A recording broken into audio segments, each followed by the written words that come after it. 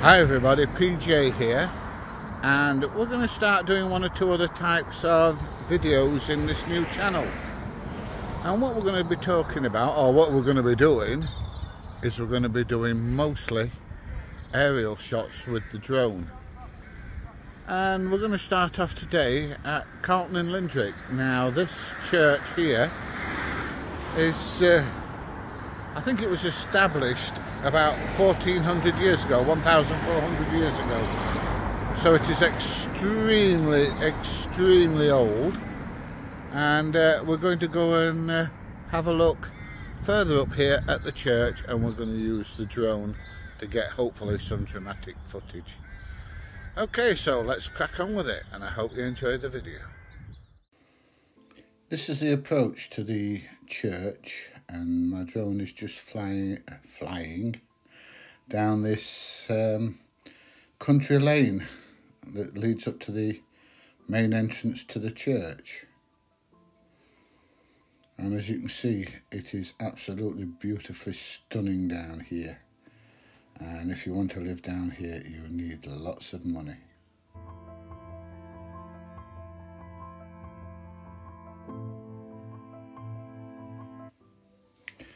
As the drone starts to climb into the air, we're going to get our first look at this beautifully stunning little church. Now this church is well over a thousand years old. In fact, I did say it was 1,400 years old, but I think it was founded around the year 800. That would make the church about 1,200 years old, not 1,400 years old as you can see, the surrounding area is stunningly beautiful um, and it's very, very exclusive if you want to live around here.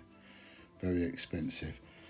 But um, just for the time being, let's just uh, let the video play and have a look at the surrounding countryside and just wallow in the beauty of the place. It's absolutely fantastic.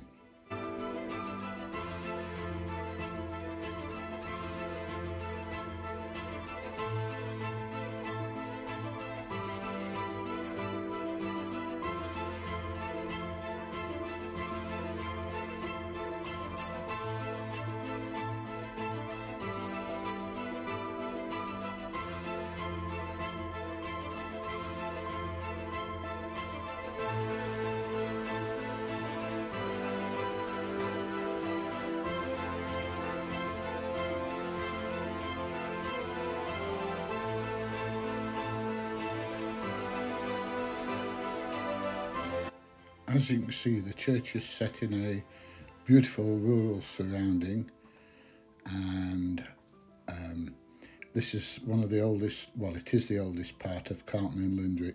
This church was actually uh, mentioned in the Domesday book um, and so was the little village of Carlton in Lindrick. So this has been here for a long, long time and I'm kind of hoping it's going to be here a lot longer. Now as I lift the drone up into the air, you can see um, just in the top right hand corner of the picture as it comes up, um, that house with the lake behind it, that's the old mill house and the lake behind it is the lake that used to power the water mill.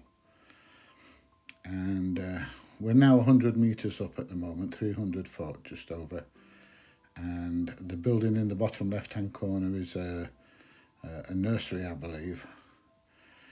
Uh, and the house just the other side of the church is a private house. And it's absolutely that house is absolutely fantastic. You wouldn't believe it. Um, the chap that lives there did ask me to take some photos of his house for him which I have done and I'm going to uh, sort them out for him and process them and email them out to him so uh, I do hope that he enjoys the photos. Okay, so this is a top-down view of the church. And once again, let's just sit back and enjoy the view.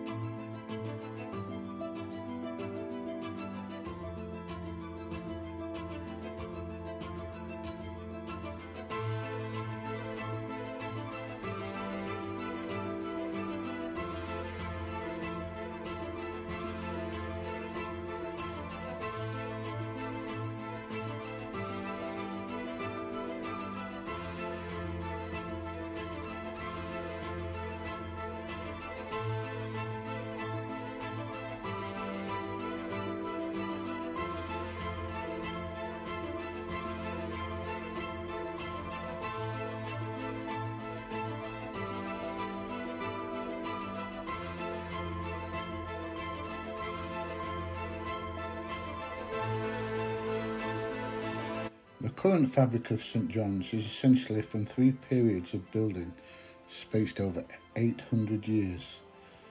The first period is approximately 1070 to 1200. The next, the second quarter of the 15th century, and the third, the first half of the 19th century. The oldest part of the lower walls of the tower is built of coursed rubble stone and included herringbone work, which you'll be able to see later on in the video when we get a little bit closer.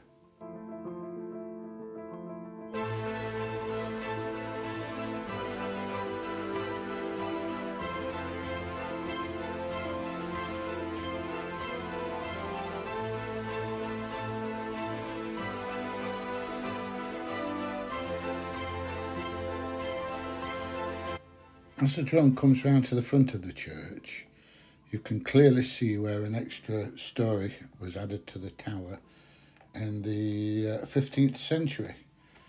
Um, there's a, a marked difference in the brickwork, as you can see, from just above the clock to the upper part of the tower.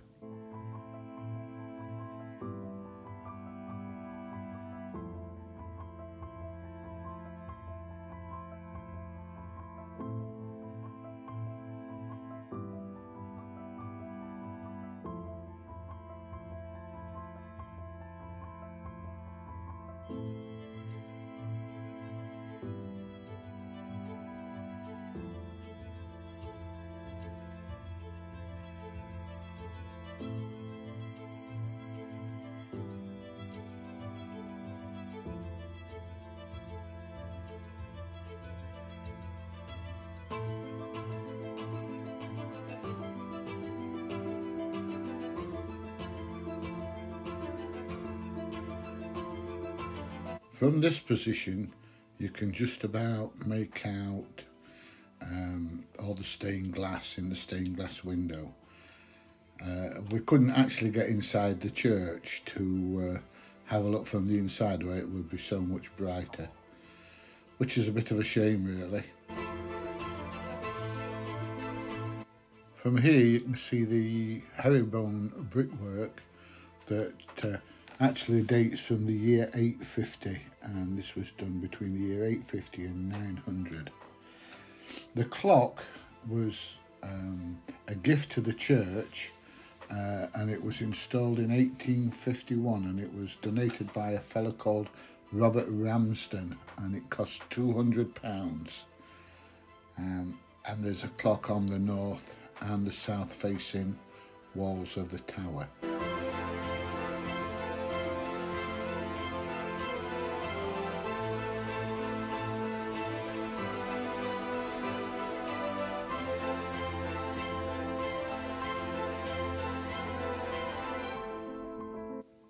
And looking at the west wall of the tower, you can easily see where the extra story was added.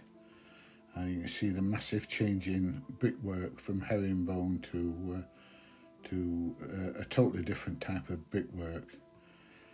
Um, so, as you can see, over the years, this, this church has had many, many, many changes. Um, I'm not going to go into great detail. I will leave a link below um, and you'll be able to uh, have a look at this link and it will give you all the details of the church and all the uh, changes it went through. Otherwise I'm going to be here forever and ever reading through it.